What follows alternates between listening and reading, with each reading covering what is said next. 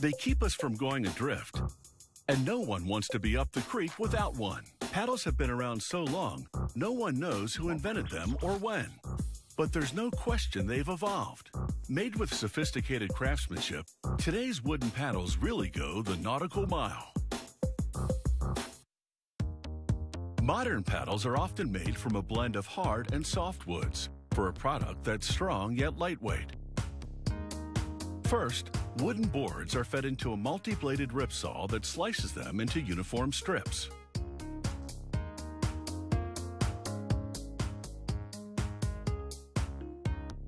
Each strip has a flat, smooth joint on the side. Glue is rolled onto those flat joints, and then the strips are pressed together. These glued sections will be used to make paddle blades.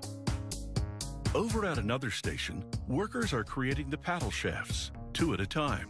They glue shorter pieces of wood for the handles and clamp them together to allow the glue to set. The blade chunks are arranged in a much bigger clamp. Then the glue-coated ends of some shafts are wedged between the blade pieces. In a process called lamination, the blades are bonded to the shafts. The laminated paddle shapes are called blanks. Next, the blade design is traced onto one of the blanks. And the design is cut out with a bandsaw. Laminated wood doesn't warp easily. This allows the factory to produce wider blades, which give the paddler more power through the water. But paddles cut from a single piece of wood have a more traditional look and feel, and some canoers prefer them. These narrower paddles are made with cherry wood. Modern tools make quick work of a design that hasn't changed very much over the centuries. In no time, a basic paddle has been carved from a single piece of wood. Next, the edges are rounded off with a large router.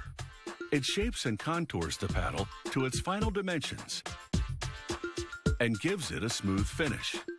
In just minutes, that chunky looking piece of wood is transformed into a sleek traditional paddle. Meanwhile, back in the laminated paddle department, notches are sawed into each paddle blade.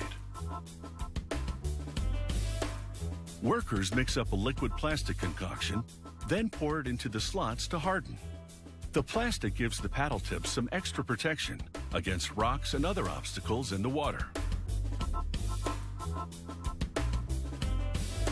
Now it's time to improve the profile of the laminated paddles.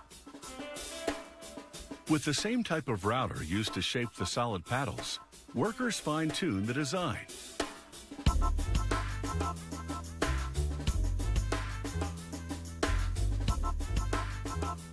Both types of paddles then get a heavy sanding. The final touch is to taper each paddle head so that it's much thinner at the tip.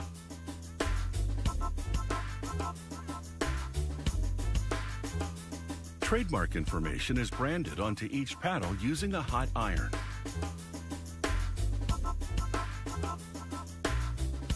Then it's time for the paddles to take a dip in a tank of varnish that contains a sunblock. The varnish both protects the wood and enhances its natural beauty. The paddles are suspended on an overhead conveyor to dry. And soon, they'll be on their way to a waterway near you.